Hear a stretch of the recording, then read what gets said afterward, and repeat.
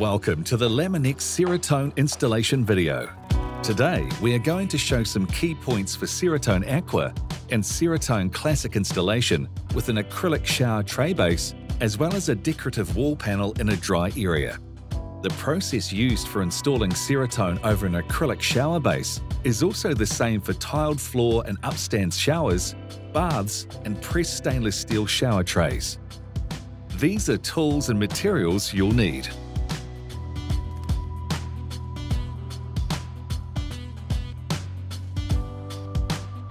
Check panels are the correct colour and or decor pattern and have no defects. Check the walls are plumb. The shower base is installed and the Aqualine GIB board is fixed to the framing. A H3.1 40 by 10 mm timber batten is fixed above the shower base upstand. Use a 4 to 5 mm packer to space batten from upstand of the tray base. Seal the timber batten with oil-based polyurethane or primer. Measure the sheets and mark out on the sheets where they are able to be cut. Using ballpoint pen, mark on the protective film.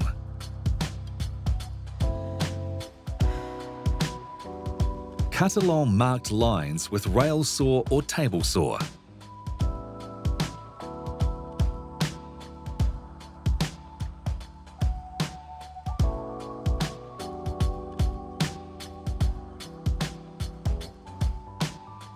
Mark and cut internal corner aluminium jointer. Fix jointer into place on the wall with panel pins, small flathead nails or countersunk screws at 300mm centres.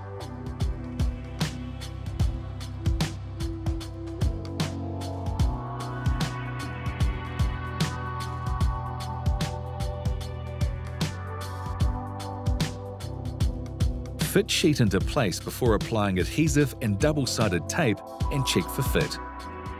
Apply double-sided tape at 400mm centres.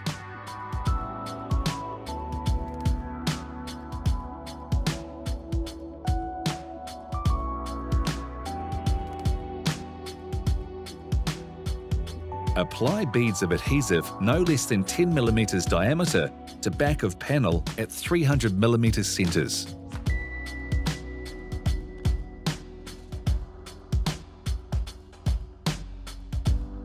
Peel back protective film approximately 50 millimeters.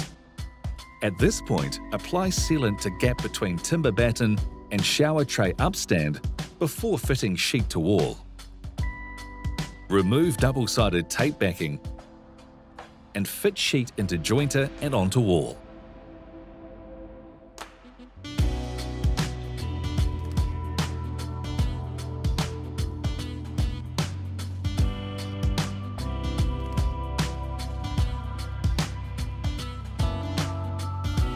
Press firmly on sheet to ensure contact of tape and adhesive to wall substrate.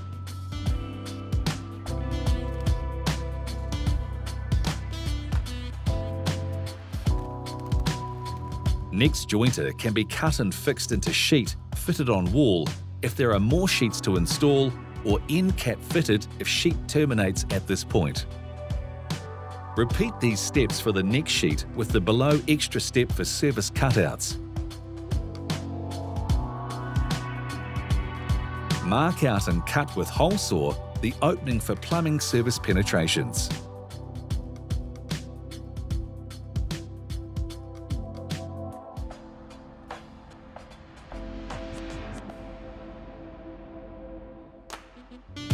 When finished, remove protective film and wipe down with soapy water.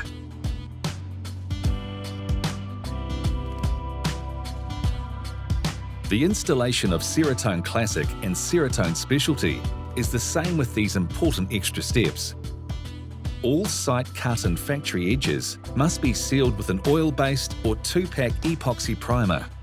This includes any holes and cutouts for surface penetrations. For example, a shower mixer. It is mandatory for an end cap to be fitted bottom sheet edge when using a drip edge detail.